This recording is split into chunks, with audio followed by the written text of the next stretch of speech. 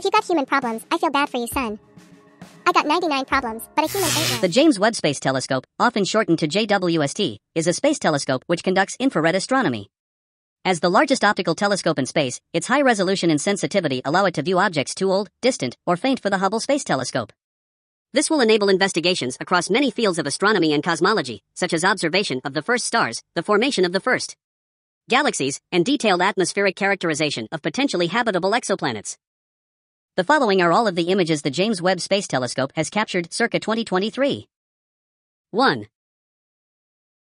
Titan has a nitrogen-rich atmosphere and rivers, lakes, and seas of hydrocarbons such as ethane and methane. This latter feature makes it unique in the solar system as the only other planetary body besides Earth to have these liquid environments, because it has dense clouds, we cannot see what lies beneath Titan's atmosphere in visible light. Webb's infrared vision has verified our hypothesis that Titan has a cloud-filled summer in its northern hemisphere. It also has bright and dark areas on its surface. The Keck Observatory also recently observed Titan's clouds and confirmed that the moon has seasonal weather, though scientific conclusions have not yet been peer-reviewed, according to the Webb Images site. NASA is planning to a 32-month mission to Titan with Dragonfly, which will launch in 2027 and observe the moon's environment up close. 2. When two galaxies get close, they begin to merge, like this scene Webb captured.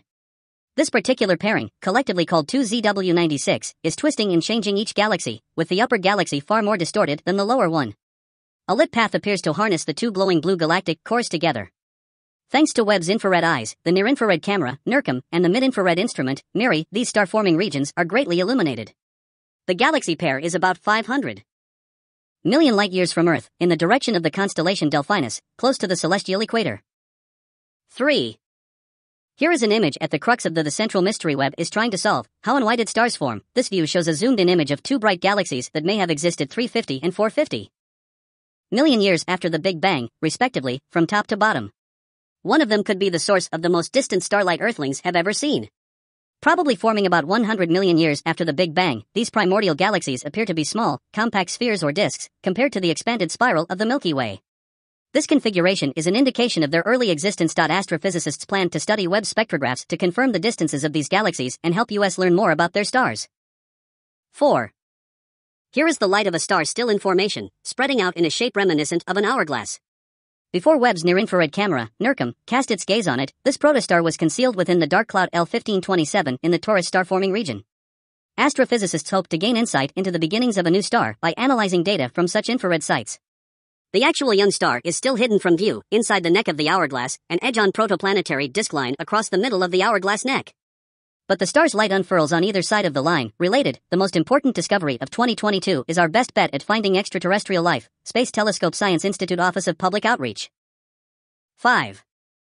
A team of Canadian astronomers, including experts from the Dunlap Institute for Astronomy and Astrophysics in the University of Toronto, have identified the most distant globular clusters ever discovered using the Webb telescope's first deep field image of thousands of galaxies. These may contain the first and oldest stars in the universe.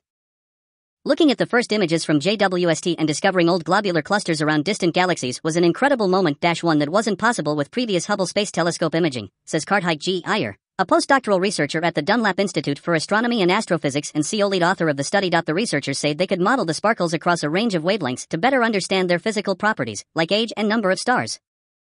6. Where did thousands of stars go? When viewed through the James Webb Space Telescope's mid-infrared instrument, MIRI, the pillars of creation look downright eerie. Thick gas and dust dominate the image. While the dust layers evoke a ghostly hand, they are actually key to star formation. Dense clusters of gas and dust collapse under their own gravitational attraction. The heat they generate forms new stars. Because stars do not emit much mid-infrared light, they aren't visible in this view. Instead, they pop out in ultraviolet, visible, and near-infrared detectors views, like the one in our next slide. The red background in this image depicts cooler, more diffuse dust. I in this MIRI view, two types of stars do show up. At the end of the dusty pillars, stars recently eroded the material around them. They show up in red because their atmospheres are still shrouded in dust. Stars with blue tones indicate older age and have shed most of their gas and dust. Related, astronomers catch rare sight of incredibly massive stars formation. Space Telescope Science Institute Office of Public Outreach. 7. Located in a small region within the vast Eagle Nebula, 6,500 light-years away, the pillars of creation look even more AWE inspiring through Webb's near-infrared camera, NIRCam. Semi-transparent gas and dust provide a nursery for new stars to be born, which are apparent as ruby red drops, often trimmed with eight diffraction spikes.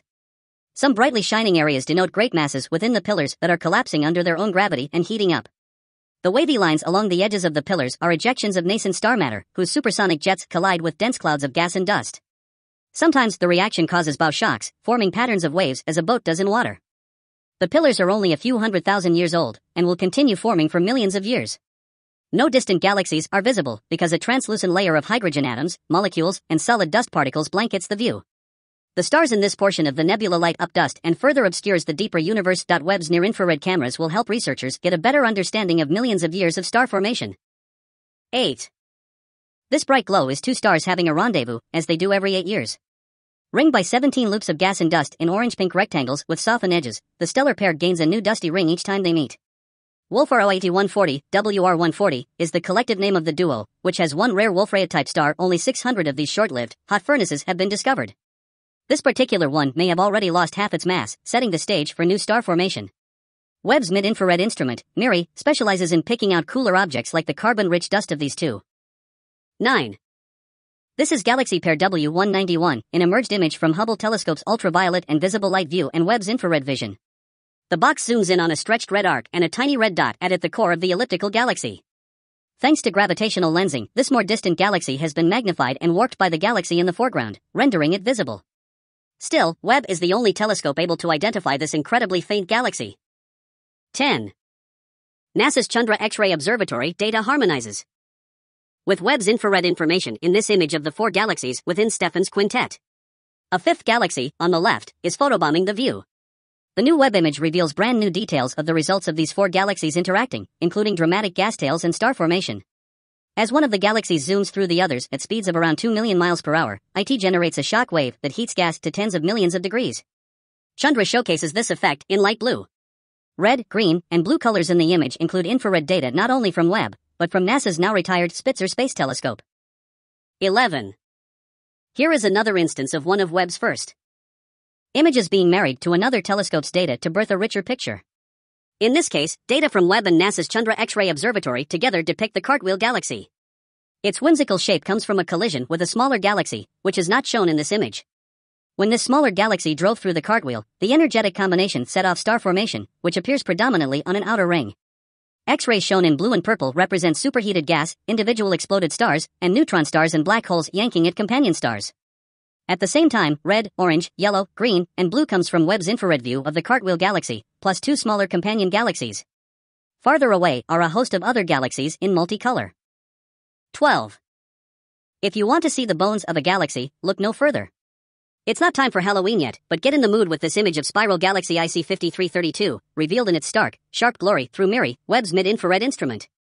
Its gaze in the 5 to 28 nanometer wavelength range seems to show gray cobwebs in the shape of a spiral, according to the Webb Flickr page.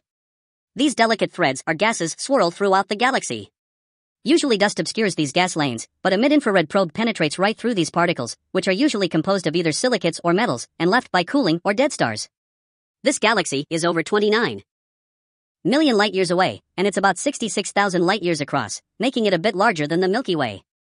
Sight in the mid-infrared range is possible only because MIRI can be cooled to near absolute zero, preventing the infrared radiation of the instrumentation itself from interfering with its readings. 13.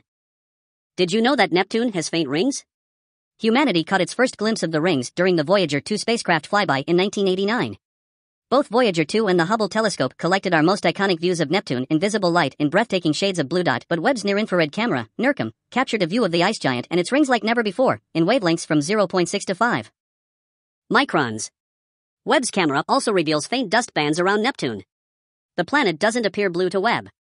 That's because its methane-rich composition absorbs infrared wavelengths, so it appears darker overall. High-altitude methane ice clouds do pop out, lighter and brighter, because they reflect sunlight. Neptune is 30 times more distant from the sun than Earth is. It's so dim that if you were to land there in the middle of the day, you'd assume it was actually twilight. 14. As seen by the James Webb Space Telescope's NIRCam. Instrument, the interior of the Orion Nebula, 3 million years old, looks like an oil painting. Located about 1,500 light years from Earth, the nebula supports the numerous massive and hot young stars of the Trapezium cluster at the top right. Orion is the closest large star forming region to Earth. The most outstanding star in this image is 02. Orionis A, in the Orion bar's dense wall of gas and dust, from the top left to the bottom right. Overall, the composite image from multiple filters depicts ionized gas, hydrocarbons, molecular gas, dust, and scattered starlight emissions. The entire nebula is about 24 light years across. 15. Arguably one of the most stunning nebulas, the Tarantula Nebula, 159,800 light-years from Earth, has captured our gazes once more, thanks to Webb Telescope's near-infrared camera, NIRCam, left, and mid-infrared instrument, MIRI, right.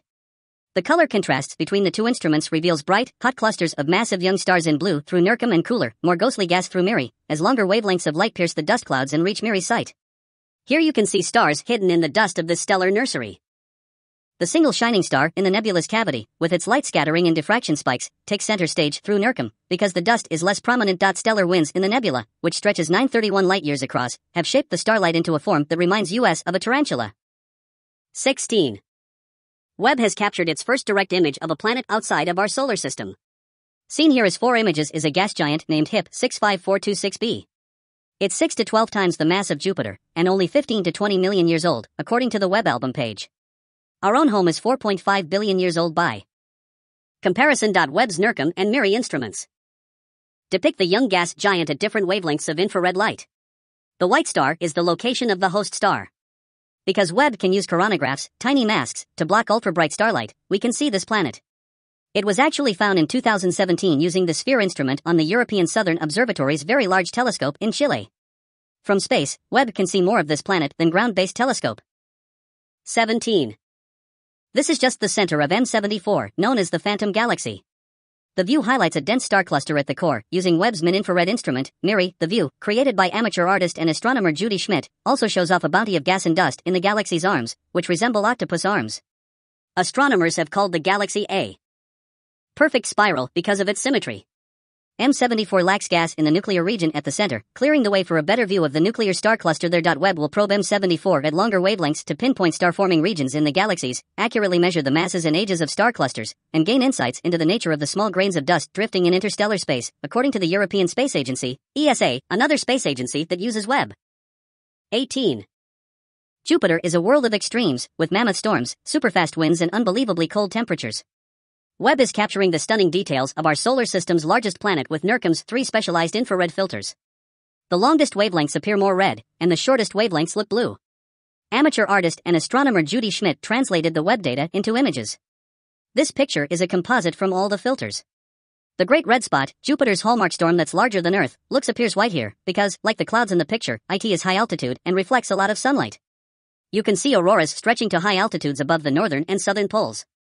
These are visible thanks to a Redder filter. Related, the nuclear-powered aircraft that we'll use to explore Jupiter. 19.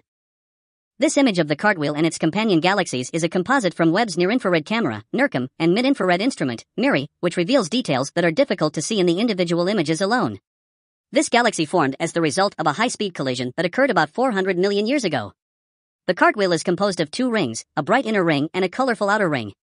Both rings expand outward from the center of the collision like shockwaves however, despite the impact, much of the character of the large, spiral galaxy that existed before the collision remains, including its rotating arms. This leads to the spokes that inspired the name of the Cartwheel Galaxy, which are the bright red streaks seen between the inner and outer rings. These brilliant red hues, located not only throughout the cartwheel, but also the companion spiral galaxy at the top left, are caused by glowing, hydrocarbon-rich dust, related. 20. Derived from Webb data for the PHANGS, Physics at High Angular Resolution in Nearby Galaxies, project, this stunner is M74, or NGC 628, a spiral galaxy 32 million light years away. Webb's mid-infrared instrument, MIRI, captured the raw data, and amateur astronomer and artist Judy Schmidt worked the data into the intricate dust lanes that grace the spiral arms in the image.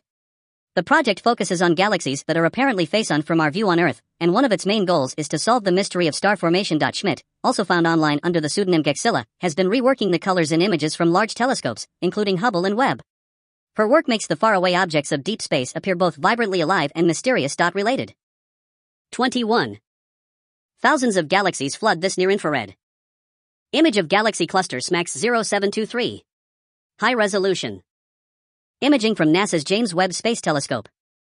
Combined with a natural effect known as gravitational lensing made this finely detailed image possible. First, focus on the galaxies responsible for the lensing, the bright white elliptical galaxy at the center of the image and smaller white galaxies throughout the image. Bound together by gravity in a galaxy cluster, they are bending the light from galaxies that appear in the vast distances behind them. The combined mass of the galaxies and dark matter act as a cosmic telescope, creating magnified, contorted, and sometimes mirrored images of individual galaxies. The galaxies in this scene that are farthest away, the tiniest galaxies that are located well behind the cluster, look nothing like the spiral and elliptical galaxies observed in the local universe. They are much clumpier and more irregular.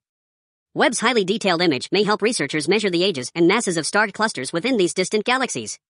This might lead to more accurate models of galaxies that existed at cosmic spring, when galaxies were sprouting tiny buds of new growth, actively interacting and merging, and had yet to develop into larger spirals. Ultimately, Webb's upcoming observations will help astronomers better understand how galaxies form and grow in the early universe. 22. The left-hand image in a near-infrared, NIRCam image and the right-hand image is in mid-infrared, MIRI image. This side-by-side comparison shows observations of the Southern Ring Nebula from NASA's Webb telescope instruments. This scene was created by a white dwarf star the remains of a star like our Sun after it shed its outer layers and stopped burning fuel through nuclear fusion. Those outer layers now form the ejected shells all along this view. In the near-infrared camera, NIRCam, image, the white dwarf appears to the lower left of the bright, central star, partially hidden by a diffraction spike. The same star appears, but brighter, larger, and redder, in the mid-infrared instrument, MIRI, image. This white dwarf star is cloaked in thick layers of dust, which make it appear larger. 23. An enormous mosaic of Stephan's quintet is the largest image to date from NASA's James Webb Space Telescope, covering about one-fifth of the moon's diameter. It contains over 150 million pixels and is constructed from almost 1,000 separate image files.